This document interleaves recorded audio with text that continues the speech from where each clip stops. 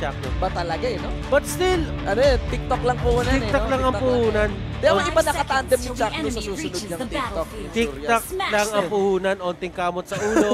Game na. Let's go! Geek Fam versus Bren Esports. There will be a switch. Of course, leading Geek Fam on the blue side, Bren naman on red. Exhort on that, si Lina. Why not? Para siyempre sa Valier May dito. Para sa Leomard CKTD on the Thames and Colt Z for that carry. For the side of Brand Esports, it's Rebo on that dig if you will be playing the Granger. Coco as the ex-Borg Lasty ang maglalaro ng Baksha.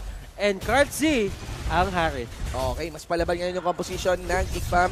But still, they're gonna be holding on to that Celine this time in the hands of Exhort. Si KTD getting a few hits. Wala din kay Carl Z dito. Laking threat pala, no? Harit Oo. ang hawak ngayon ni Carl Z, no? Pero may ito sasabihin ko sa'yo, ah, si Ano May dito hawak niya na yung signature hero niya. Si? Signature hero ni May gamit niya na.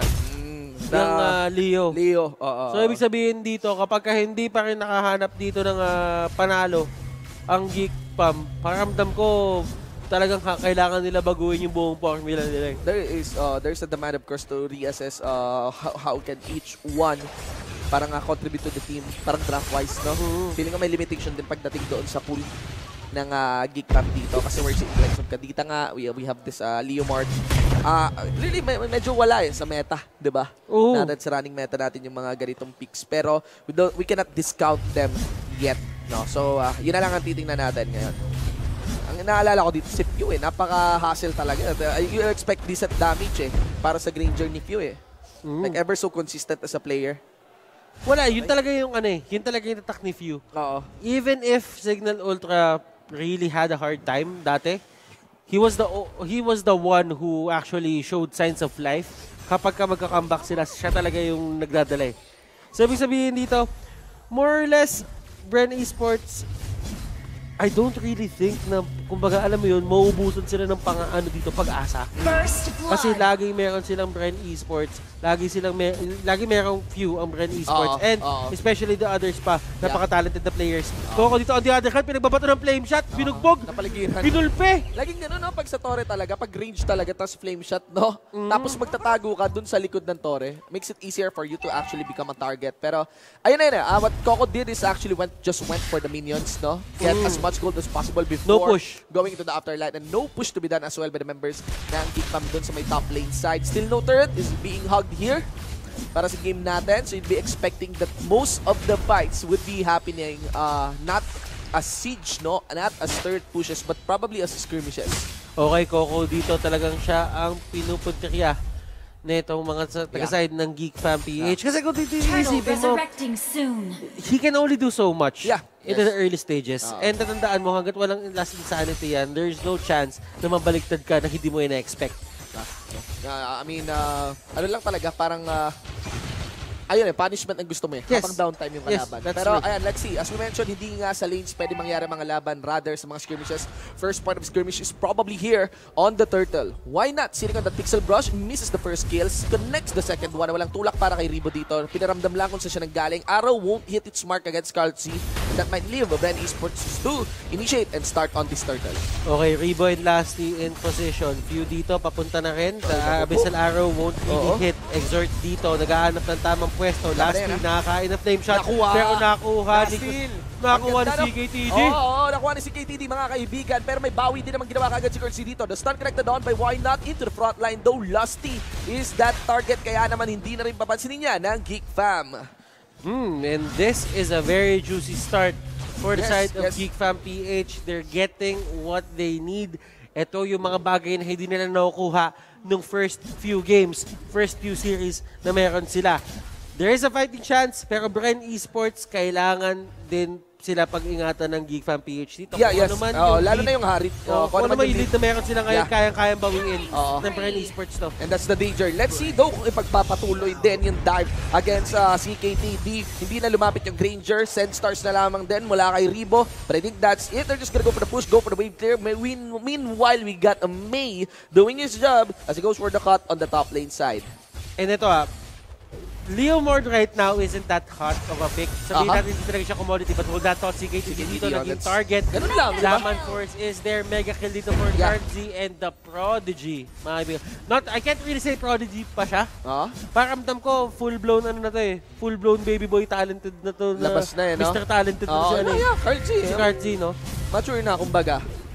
Okay. Oh, pero tinamaan siya dito. Yeah, Hindi nila mag- Araw. Ano, dami na po. Madaming binato, mga kaibigan. Buti nakuha yung dash. Second son of Arrow won't be connecting towards the Q, but Rondo is now on cooldown. Kanina, no, hindi, na, na-overestimate niya yung kunat niya. I mean, you got Diggy, damage, tas Harid, no, with it, its ultimate. No, kahit taps ka pa, kahit under turret, the, the burst will be real on you. I thought there's enough magic resistance for this one. Even May won't be calling the Barbiel, and Exort will Nako. be left for dead here. Sumundot si May dito, pwede kabulin ni Carl Z. Another dash after the first kill, and another roll coming in from Lasty para lang ma-deny itong guild na to.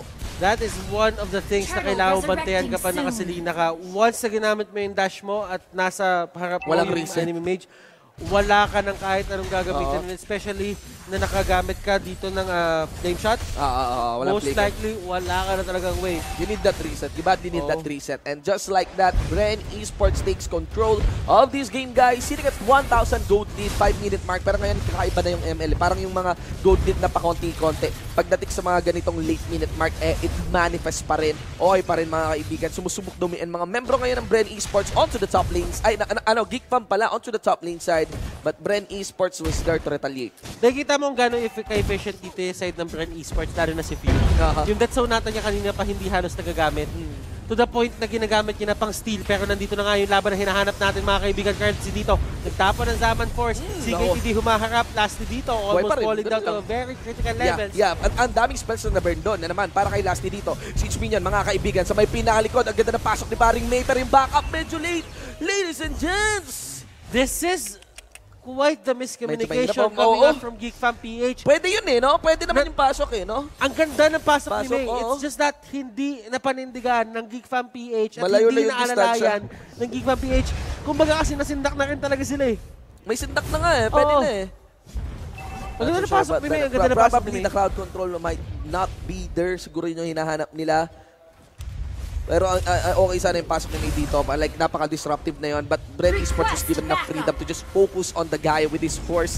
Koko here receiving na shuriken mula kay Carl Z. Of course, members dito ng Bren Esports gonna focus into the turret. Buti na lang, nakuha ng Geek Fam yung minion wave at kahit pa paano may stall out pa rin nila itong push sa mid. Pero itong si Arbok going down. The last hit check din dyan ni Few. Doon sa may taas, si KTD just doing his thing.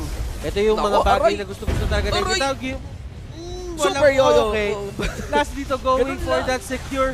Buhay pa rin siya dito. Curtsy, mga kaibigan, buhay pa rin. Aray! Barbiel will be called out. Pero that is a defensive Ah. Barbiel. Mapdi! Mapdi ba rin batters eh, no?